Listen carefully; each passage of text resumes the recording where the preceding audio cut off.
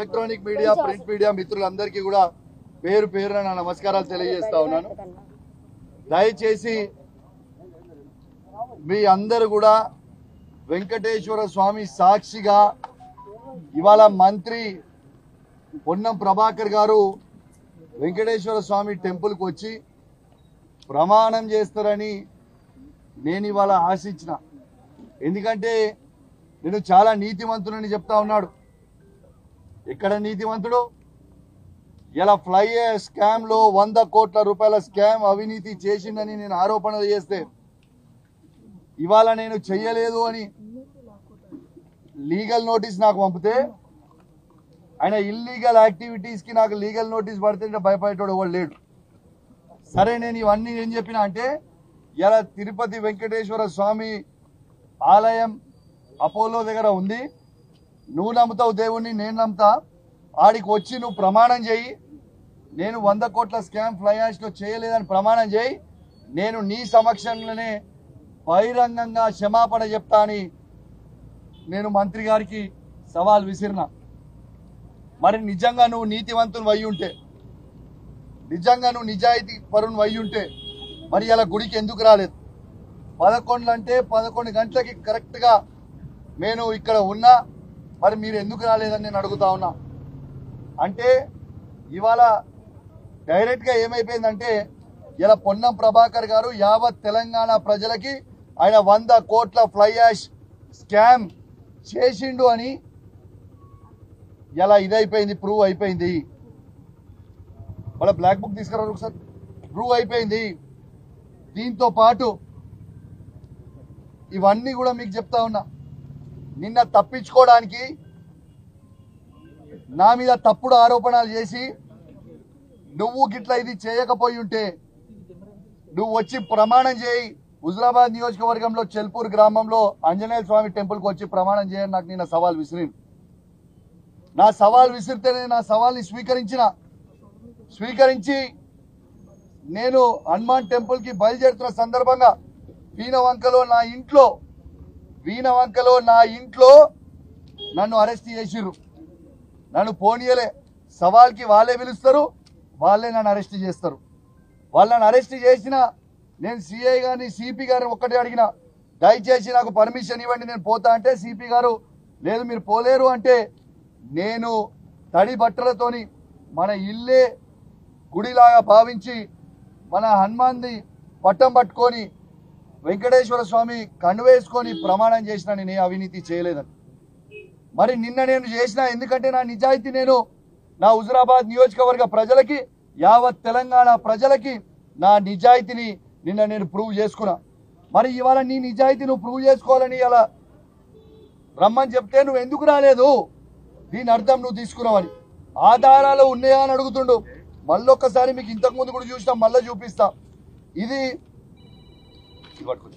ఇది permit bill వాళ్ళది. ఇది ఫ్లై యాష్ వాళ్ళది పర్మిట్ బిల్ ఫ్లై యాష్ అనేది ఆ యాష్ పాండ్ నుంచి సెంట్రల్ గవర్నమెంట్ ఫ్రీగా తీసుకుపోమని ఇచ్చిన ఇది.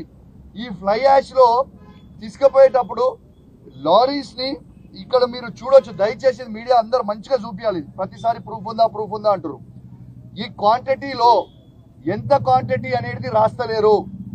ఆడ అవుట్ పాస్ సిగ్నేచర్ ఉంటుంది వాళ్ళది కన్సర్న్ పర్సన్ సిగ్నేచర్ ఉంటుంది స్టాంప్ ఉంటుంది. మీరు చూడొచ్చు. రెండోది చాలా తెలివిగా ఏమడుగుతారు? అసలు దీనికి వే బిల్ ఉండదు.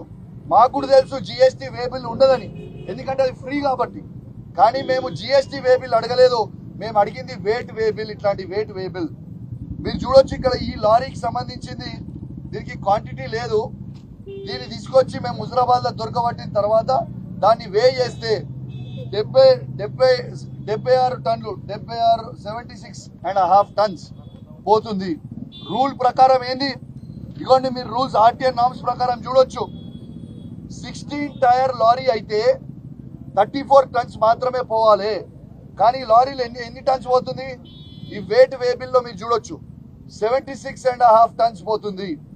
అంటే ఇది నాకు సంబంధం లేదని చాలా తెలివిగా చెప్తుండొచ్చు. ఓ ట్రాన్స్పోర్ట్ మినిస్టర్గా నేను ఒక్కటే అడుగుతున్నా. ఓ ట్రాన్స్పోర్ట్ మినిస్టర్గా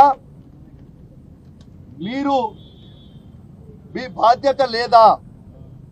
ఇలా నా బాధ అంతా ఏంటంటే తెలంగాణ రాష్ట్రాన్ని రోడ్లని మీరు డ్యామేజ్ చేస్తున్నారు.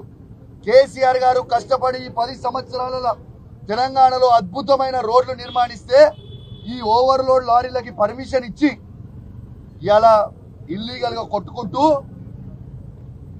ఇలా రోడ్లు పాడవుతున్నాయి ఆ ఫ్లై యాష్ రోడ్ల మీద పడితే ప్రజల ప్రాణాలు పోతున్నాయి. అయ్యా పొన్నం ప్రభాకర్ గారు నీకు సిగ్గు అనిపిస్తలేదా? ప్రజల శవాల మీద పైసలు ఏరుకోవడానికి నీకు సిగ్గు అనిపిస్తలేదా అని చెప్పి నేను పొన్న ప్రభాకర్ గారిని అడుగుతా ఉన్నాను. కొంచెం పెన్ను ఇవ్వాలి మీరు అందరూ నేను ఎవరెవరు ఎక్స్ట్రాలు అధికారులు చేస్తున్నారో స్కాములు ఎవరెవరు మంత్రులు చేస్తున్నారో నేను బ్లాక్ బుక్ పెడుతున్నా అని చెప్పి మీకు ఆ రోజు నిన్న మొన్న మొన్న ప్రకటించిన.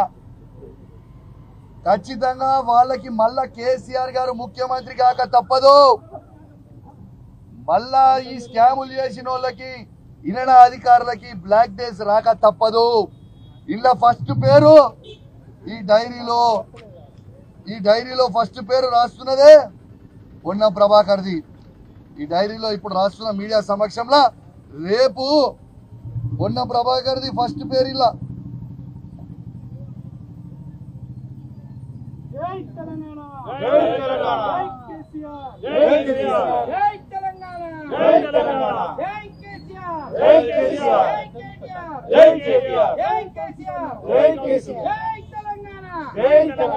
నా బ్లాక్ బుక్లో ఫస్ట్ పేరు రాసిన పొన్నం ప్రభాకర్ ఫ్లైయర్ స్కామ్ అని. బిడ్డ మళ్ళా కేసీఆర్ ముఖ్యమంత్రి వచ్చిన తర్వాత ముఖ్యమంత్రి అయిన తర్వాత నువ్వు తిన్న వంద కోట్ల అవినీతి మరియు టికెటింగ్ స్కామ్. మా క్రిషాంక్ చెప్పినప్పుడు చెప్పినట్టు నువ్వు చేసిన టికెట్ల స్కామ్. ఇవన్నీ పైసలు నేను కక్కిస్తాం. నా బ్లాక్ బుక్లో ఫస్ట్ పేరు ఎంటర్ అయిందే మినిస్టర్ పొన్నం ప్రభాకర్ గారిది. రేపు అధికారం వచ్చిన తర్వాత ఆయనకి దీని ఈ బుక్ ఈ బుక్ వాల్యూ తెలుస్తుందని చెప్పి ఈ సందర్భంగా తెలియజేస్తూ యా ఫైనల్గా నేను క్లోజ్ చేసే ముందు దయచేసి యావత్ తెలంగాణ ప్రజల్ని ఒక్కసారి గమనించమని చెప్తా ఉన్నా. వీళ్ళు ఆరు గ్యారెంటీలు చేస్తామని చెప్పి ఆరు నెలల్లో ఆరు స్కాములు మాత్రం చేసిర్రు ఆరు గ్యారెంటీలు మాత్రం ఇంప్లిమెంట్ చేయలేదు. దీంట్లో ఇవాళ ఫస్ట్ అండ్ ఫార్మోస్ట్ ఇలా ప్రూవ్ అయిపోయింది. పొన్నం ప్రభాకర్ గారు ఫ్లై యాష్ స్కామ్లో వంద కోట్ల రూపాయల స్కామ్ చేసింది అనేది ఇలా యావత్ వెంకటేశ్వర స్వామి సాక్షిగా ప్రూవ్ అయిందని చెప్పి సందర్భంగా తెలియజేస్తూ సెలవు తీసుకుంటా ఉన్నాను. జై తెలంగాణ. జై కేసీఆర్.